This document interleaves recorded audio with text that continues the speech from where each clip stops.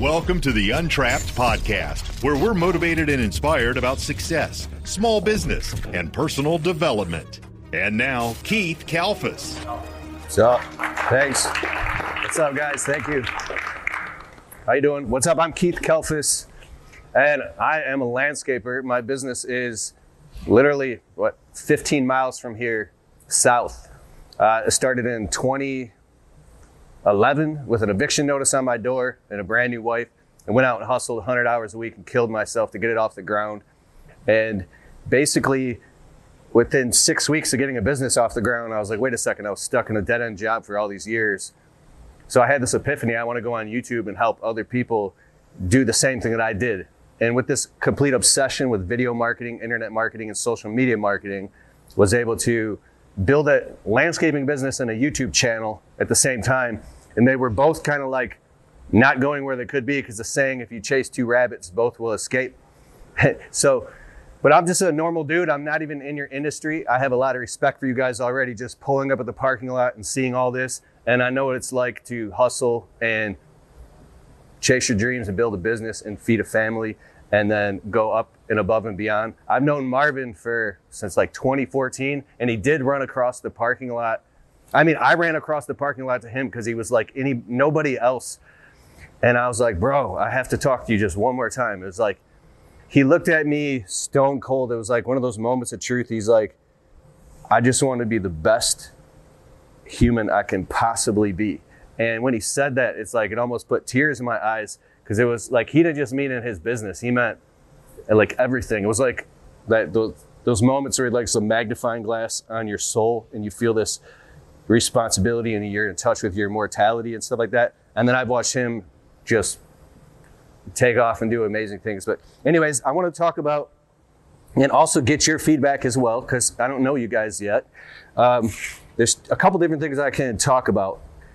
The social media marketing aspect, we've got about 80 million views online and we built two businesses at once. I just have a small landscape business, three employees, because I fell in love with this media business that's gone on like a side hustle online, mostly automated, selling online courses, ebooks, programs, and doing public talks and stuff like this. And it's like these automated sources of income. But then at the same time, I'm learning you can use the same stuff and cross pollinate as being a contractor to get these views online that have customers calling you saying, like, I saw your video and I liked it and it made perfect sense. And it positioned me or anybody to where the customer is calling, they want a quote and they're ready to buy because they feel like they know you, like you, and trust you. Does anybody here uh, take pictures and videos of their job sites and have a Facebook? Yeah. Anybody a YouTube channel? Yeah. Nice. Oh, and then um, is anybody here marketing their business consistently, like before and after pictures and Facebook and Instagram and yeah? And are you getting good leads from it? Is it working? I have 20,000 that went viral. You have what? I got 20,000 followers and content stuff for Asphalt Driveway, and then I went viral with a, with a video that I always wanted to do with 9 million, and I've turned it into one driveway. So Yeah. elaborate.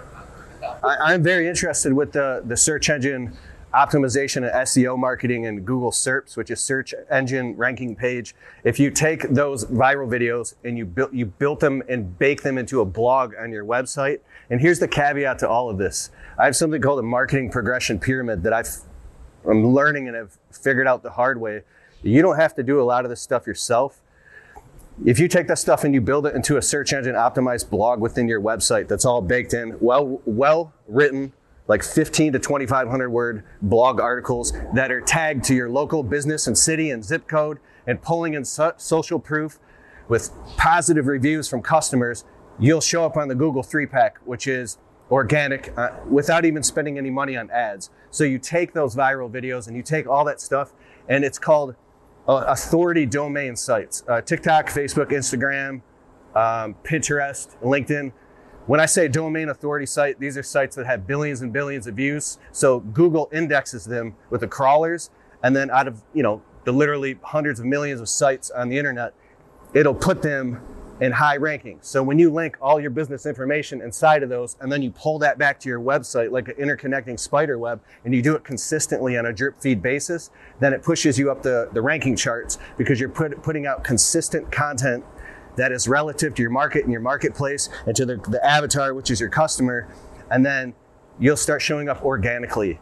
And then, so does anybody have any interest? Um, there's there's two different things I'm split on wanting to talk about here. I'll go right into this. When you're trying to run your business and do everything, manage employees, jobs, scheduling, payroll, something's messed up on a job site, you got to run back. You're up at midnight, you know, running payroll. Now the workers' comp has an audit. It's non-stop. I, I mean, this is my my life. I'm like, how in the hell am I going to find time to do this marketing? Like, oh shit, I forgot to take the before and after picture. I just didn't have time. You can hire virtual assistants on a site called upwork.com that will literally help you. They love doing this and they'll do all this stuff for you on autopilot. We have eight to 12 pieces of content going out per day, every single day, hundreds of pieces of content per month. I have 17 virtual assistants now and built an entire media business and pay them anywhere. If you are looking for the greatest software ever to run your business on, go to getjobber.com forward slash Keith. You can create proposals, invoices, collect payments, and track your entire business directly on the Jobber smartphone app. If you want to get a totally free trial of Jobber right now, open your browser, type in getjobber.com forward slash Keith, and after the trial, if you decide to sign up with Keith's link, you'll automatically get 20% off your first six months. So what are you waiting for? Go to getjobber.com forward slash Keith. Between like 15 to 125 dollars an hour, depending on what it is, but on an average about 20 bucks an hour. So my only job and my business is to take the before and after picture, take videos, vlogs, and I just upload that stuff to Dropbox, and I don't do anything else. My video editor takes the video, makes makes the video. My virtual assistant, who and I'll show you how to do all this stuff, will take that content and chop it up and share it on Instagram, TikTok, Facebook, and Reels and stories and all that stuff. And then everything that I say, if I have a video where I'm talking for seven minutes straight about a specific topic, my podcast producer will take that and extract the audio, put an intro and an outro and uh, bumpers, and, and pump that out to 17 different podcast platforms. And we use AI for well written show notes. And then my blog article writer happens to be in uh, Virginia. He'll take that and then he'll write a 2,500 word blog article and then t- put the podcast and the video and the shorts, all that, put that on my blog. And then I pay him extra and he'll write a well written email and then he'll pump that out to our email list of 15,000 people. And then it all has calls to action that go back to everything. And then my Pinterest virtual assistant, like, will take that and post the shit all over Pinterest. And so we have this whole marketing media machine happening completely on autopilot. And it's just a bunch of virtual assistants in the Philippines who I trust. You're going to kiss a lot of frogs that can help you um, do all this shit. And you're literally just running your business, yet there's this like thing happening in the background. And people will be like, How the fuck are you doing this? You're like, I'm not doing it. There's a book that I read by Dan Ken, uh, I'm sorry, Dan Sullivan, the strategic coach. And he's also, uh, if anybody here heard of Gino Wickman, Traction, Get a Grip, and Rocket Fuel, read these books on audible.com. This book called Who Not How changed my life because I kept saying, How do I do this? How do I do this? How do I do this? So I'm like eating dinner with my wife and then literally trying to do marketing on the toilet, in and out of the shower, in the basement after she goes to sleep. I was up till 2:30 o'clock in the, this morning doing marketing, like, but um, because we just did a, like a big launch yesterday, a Cyber Monday thing, and we're generating sales online. But you can go on a site called Upwork.com and scour through virtual assistants and just start interviewing these people. And what I do is I'll hire three for the same project, and I'll quickly quickly let go of the two that don't work. If I need um, like anything, there's tens of thousands, probably I don't know how many say tens of thousands of people all over the world that are obsessed with, happy, and want to do exactly what you need help with. A virtual bookkeeper, someone to do your marketing, obviously an accountant and all that stuff, somebody to run payroll. And and we've gone completely like with the pandemic and everything, people are really online and work from home. So you can have, aside from your core team that you run your business with, because you need boots on the ground banging out the actual jobs, everything else can be completely virtual. And so what we do is we have weekly pulse meetings with the virtual assistants, and we just hop on Zoom once a week at Fridays at two o'clock for an hour or two. And here's the thing that changed everything. So early I called this thing called the marketing progression pyramid. Like, first of all, you have pain and suffering, and you know you have a problem, but you don't know how to fix it. You want to grow your business, you want to market it, you want to get tons of leads coming in so you can skip, uh, scoop the cream off the top and only take on the highest paying, most qualified jobs and just like not have to say yes to the shit that you, you know what I'm saying, don't want to. Well, the next step in this marketing progression pyramid is like, you know you have a problem and you're work, you're actively working on solving it, but you're wearing all the hats and pulling your hair out because you're only one person and that's how you end up in burnout because you're wearing all the hats. The next step of this pyramid is where you have people that you've hired that are helping you in the field, in the office. You got an office manager, you got a secretary. Like we use uh, Jill's office virtual assistants. They answer the phone for us and they book the jobs automatically online and schedule it with Jobber. And then they do everything. They sell the job and we literally can just show up and do the work. Uh, they're virtual receptionists and they're right here in the United States in Utah. But you're still wearing all the hats and pulling your hair out and it's taking you away from taking Sundays off, taking Saturdays off, hanging out with your family, being fully present where you can just like leave your phone in your truck for like a whole day if you wanted because it's all handled. The final step in this marketing progression pyramid that finally I saw this a couple years ago and I was like, but how how is the wrong question. How in the F am I going to do this? And it seemed impossible to me because you hear about these people that have these multi-million dollar businesses and they're like, I hired a CFO or a CEO and I pay him 110 grand a year. Well, uh, um, I just did an interview with a friend named Dan Plata. Him and his partners own like 15 different uh, businesses on my podcast. And he says like, when you get to the point where you're making 100,000 in personal income in your business between payroll and distributions, I started crying laughing because when you go to hire that key person, now you have to pay them a major chunk and now all your personal income goes away and you're stuck in cash flow purgatory because now you have to keep growing the business. So you're like running with your hair on fire while the pavement's falling behind you, or you can just stay stuck and be in first gear pedaling your ass off. In order to get to second, third, and fourth gear, you have to pay the who's. So he, he said he, he was like walks in the kitchen to his wife, I'm making 100 grand a year personal income off this, you know, six or seven hundred thousand dollar business. She's like, wow. He goes, but it's all going away. And she's like, what? He's like, yeah, I'm hiring uh, an operations manager to manage all the employees in the field to get all the shit done so I can focus on running admin and marketing and change my hats. And when he said it's all going away, I was just like crying, laughing on the podcast because that's something you should never tell your wife, like it's all going away. But, you know, that it was so funny. And what he was talking about is when you understand this stuff, you expect it and you anticipate it and you plan for it in advance. It's when you don't know when the shit happens to you and now your business is haywire because you don't have any minimum viable systems or um,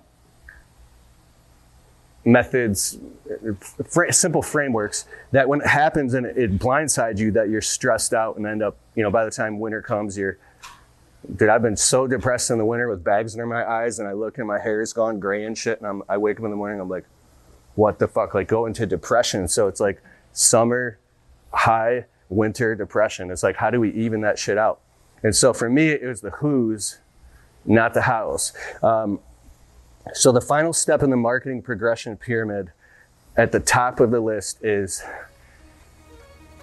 So I'm really excited because if you want to learn how to market your business with video, you could do so much with your smartphone we got to like 400,000 views a month with my smartphone. I hit 20,000 subscribers on YouTube, and even though I was making uh, all types of videos, mostly they were landscaping videos, and there was customers, you know, reaching out saying that they saw my videos and they wanted to hire us. And then it just it just really worked. So whether you're trying to market your actual business to get more leads or you want to grow your own personal brand, and get into you know video marketing and you can do all this with your smartphone So I created a free download. It's a, it's a 12 page guide all about how to use your smartphone. And there's some unique mechanisms in there that really can open your eyes to all you need is your smartphone. So go to keithkalfas.com slash smartphone and you can download the free guide right now. keithkalfas.com slash smartphone. See you there. It's an integrator. There's the visionary integrator relationship. You now, if that's what you want to do, become the visionary of your business, and then you hire the integrator, and it could be just a kick-ass office manager that that does all that stuff for you. So my integrator now, I can't tell you her name, but she's in Texas. She's uh, dude, she's a fucking rock star. I wish she would have come into my life five years ago, but I wasn't ready. And um, dude, I, I'm like literally sending this lady gourmet brownies and gift cards to Outback Steakhouse. I could cry for how thankful I am because now in my business, everything that I have a vision, she's like, hold up, let's put that on our CRM. It's called Monday.com where all of the ideas and business marketing ideas and everything we have is completely categorized and organized to exactly what needs to be done. And it's all time based with triggers. So if we have a new idea that comes in, it's like, wait, we're working on this project. You sure you want to do this? All right, we'll set that up for March. So now we have a marketing content calendar with themes that we're putting together, and I've hired a consultant. So when I'm on the weekly pulse call with my virtual assistants and paying a consultant to guide us along, here's what it is I have the integrator on the Zoom calls with us, paying attention to everything, and she's taking notes, and AI is recording it and creating show notes. So that way, when we get off the Zoom call, you get you go you get sucked right back into your business, and you can't even fucking implement implement anything that you just learned.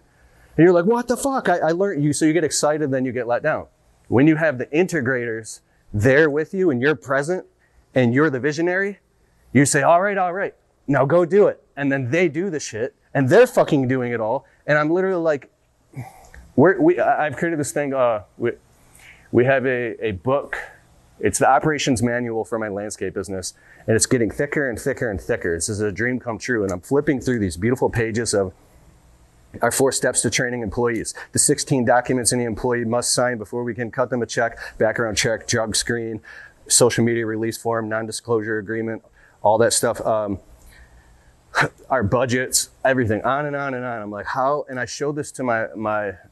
I'm like crazy in love with my wife, and I, because we we were like poor shit in a one bedroom apartment, and I couldn't fucking figure it out, and I was really depressed. And to watch where we're at now is a dream come true. And I pulled her into my studio. I'm like, you have to see this. We have these beautiful branded company manual with all these things happening. And she's like, oh my God, this is beautiful. This is amazing. This is gorgeous. And I'm like so proud of it. And I almost feel weird, like I, like I, cause I didn't do any of the shit. I know everything line by line. I'm on the phone with the lawyer. I'm asking questions and making sure everything is super, super legit. Like if something is, if a T's not crossed and an I's not dotted, like I'm getting up at three o'clock in the morning and praying and shit and calling up my assistant. And I'm like, I have to make sure because if, I'm sorry, I'm going too deep with that, but integrity is everything. And so basically you can hire people to do all the shit for you and you can do it through virtual assistants on a site called upwork.com. Um, if it's something very critical, make sure possibly they're in the United States. And a lot of people can be overseas. Like I said, you're going to kiss a lot of frogs. I've been through like 65 virtual assistants. I have a video editor right now in Serbia who's amazing, but he's totally MIA for the past eight weeks. I've got overdue projects. We've got 17 videos already filmed, ready to be edited, and he's gone. I have three more video editors. One is in Russia, but since the sanctions, I just don't know if I can hire him anymore. Um, I have so multiple video editors and people on board doing stuff, and the next step is make sure that all these virtual assistants are all cohesively in understanding with your brand and everything that you do. So everything they do looks uh, consistent, has consistent textures, fonts, tones. The messaging is correct. The, we have something called a brand style guide. So anybody, if we have a graphic designer do anything, everything looks exactly the same and looks branded. So therefore, the messaging that's coming out on the internet and on social media, they immediately know that it's my stuff. So think about that in your business. Am I going too far here? Is this resonating? You can do like all the stuff. And the next question by Tim Ferriss, the author of the Four Hour Work Week, he has this free guide. It's like the 17 questions you have to ask yourself. And my favorite one is, what would this look like if it were easy? So I would be like, this is so hard, and I'd get overwhelmed because I have a lot of anxiety sometimes. I'd say, wait a second, this shit is easy. So, um, build it into your marketing. You don't have to have a fancy camera, you can use your phone. Start taking the footage of the job sites uh, and before and after pictures. Here's a, an amazing thing I learned. On your iPhone or your Android, you can press like the plus button in the gallery and create albums. I create an album for every different customer's last name or the name of the project. And then all the videos and pictures go into that project. I got one obviously for family and my dogs and Christmases, but with the business stuff, it's all hyper organized. And then I have that all matching inside of Dropbox, every single thing that has to do with the business, whether it's uh, uh, employees or payroll or taxes or insurance or anything social media. It's all out of my head and in the cloud so my virtual assistants can access it Looking to maximize your production in the field? Ballard Products has over 300 products that can help you get the most out of your efforts every day. Ballard Products. Whether you are looking to get a better cut, keep your gear on your machine, keep your expensive equipment clean and safe, or just get the most out of your machines, Ballard has you covered. Ballard Products. Jump onto our easy to use updated website at ballard-inc.com to get your gear ordered today. Keep grinding, grinding. Stay, safe, safe, and have a great season. Ballard. Make sure to use the code Keith10 to save 10% on our full line of gear. That's Keith10. And um, so everything that comes in in real time is being uploaded to the cloud with tags. So the virtual assistants can go right in and grab what they need and they don't have to keep bugging me. So if you're trying to scroll through your phone, like, fuck, where was that one picture? It do, it's right where it's supposed to be because you're doing it in real time. So um, i get really excited when I meet people at events like this and I see them in a year or two and it'll be like something like Marvin. He's like, bro, we're doing it. We've automated this part of the business. It made me free. I started that podcast I've always dreamed of, and now it's working and we're traveling. And it's like your your your dreams and what you want to do is literally so close. Six to 12 months, you can be doing some epic shit that you always dream, whether it's in your business or on anything. Because a lot of people have multiple businesses now and multiple, like you might have your day business and you have an internet side hustle on Amazon or you're doing some social media stuff and people love multiple streams of income and cryptocurrency and stocks and all that shit. It's like, but if you can just take a couple of those hats or at least one of those hats off in your day business and give it to someone else, um, it'll free you up to do all that shit. So I think that's enough. Is there any questions? Did I bore you to death? Am I talking too fast? Those are, I have resources too, yeah. Yeah, uh, I was just going to say that. The resources that you just mentioned, where can people find more information on that? Like uh, the books you've written, how to find, how to find you and, and whatnot online if they do that. Yeah, I think that uh, my books would be boring to you guys. I just published my fourth book called 17 Ways to Market a Landscaping Business. And that'll be out like in a couple of months. We're recording the audiobook right now on audible.com. We have like seven online courses. We have all this, but it's all about like landscaping, window cleaning, and marketing. We have a program called the Business Marketing Blueprint. It's keithkalfas.com slash BMB. But I want to tell you the books that I've read that have made me have these epiphanies it's Dan Sullivan, the book called Who Not How on audible.com. So throw in headphones and listen to that while you're working. And then the other books are by Gino Wickman is Traction, Get a Grip, and Rocket Fuel. These hyper specific pieces of information will like wake you up and can create huge changes because when, when you change the way you see things, the things you see literally change. So that's it. Any questions? Yeah just to follow up, you said you've gone through 65 virtual assistants and you've got kind of like four you're working through? Collectively? Yeah. yeah, now we have like 17. There's a core group of like seven or nine. It's because some of them are like all the time, some of them are sometimes, some of them are part time. Some. I dig into, I guess, was is it kind of just consistently I've had like trimming of numbers where people go MIA, or was it at the beginning like it was really hard to find that core group that's kind of stuck through, or I know that's been a lot. A lot of times that's the issue with finding virtual assistants is, yeah, they just they go AWOL or they can't get the brand message right or different things like that. So I didn't know how long it took you to find those couple to kind of yes. rest off of. 2016, there's this internet marketer guy named Tai Lopez. He'd have his Lamborghinis in his garage and shit, and he went mega viral. And people were questioning him, but then he put out this course, like it was a social media marketing, uh, business training thing. And I bought it and I was watching it. And there was this guy in there named, I think it was Joe Soto. He, he had like a multi million dollar internet marketing agency where he did stuff for businesses like ours. And then he talked about hiring virtual assistants. And in one moment, I had this, what we call an epiphany bridge, where I was like, wait a second. I immediately took Upwork and I opened it up and I started, oh my God, this has been here this whole time. So I just, I was so scared to hire somebody because I was afraid of making a mistake. And then I finally said, like, this pain isn't going to stop unless I just take a chance. And then the first person I hired totally sucked.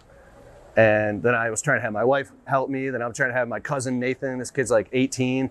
I'm like, dude, I'll pay you 14 bucks an hour. And then he didn't know what he was doing. So I, instead of trying to find the, um, instead of trying to train somebody to do it, you just find somebody who's already good at that specific thing. But be willing to like hire fast and fire fast. Like I said, I'll hire three people for the same task, and then I'll get rid of the other two that don't work. And I'm super upfront and clear. And I notice that when you're incredibly confident and you've like stepped over the line and you are committed to this thing, other people pick up on it and then they want to jump onto your mission. Just like almost like an employee, if you hire them and you you don't seem too committed about your own business and your truck's all dirty. They're like, well, I don't know what this, but if your if your shit's clean and you've got a mission and a vision, the employees, because they're like your internal customers.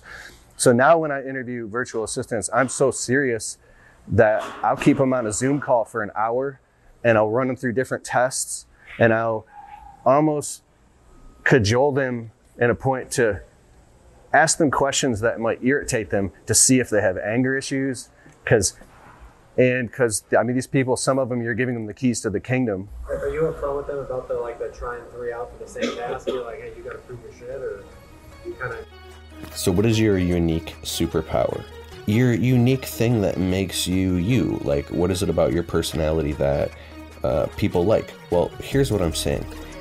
You can market your business on social media. You don't absolutely have to even show your face, but if you can get comfortable with that and just being yourself, be yourself with the volume turned all the way up, you can crush it with marketing your business on social media.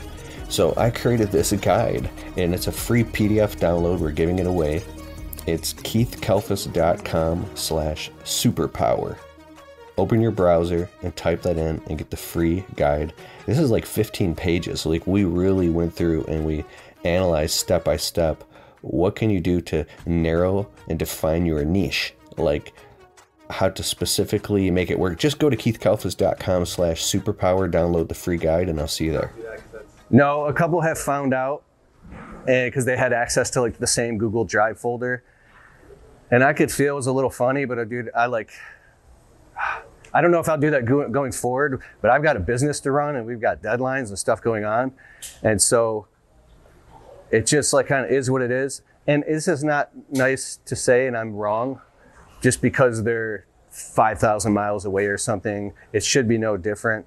So I think moving forward, I will be more upfront and say, hey, we, we have, we're, we're hiring multiple positions, and we're just going to pick the one that resonates the most.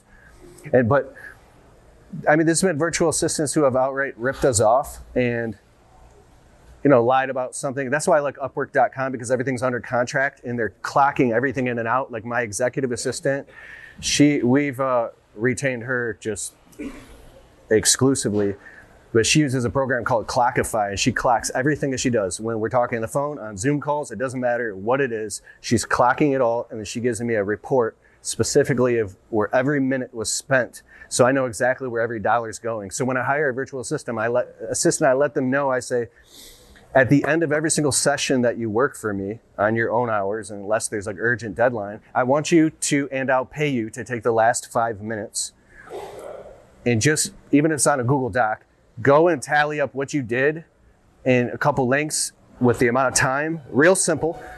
Charge me for that, and then send it with your invoice, so I know where the heck my money's going.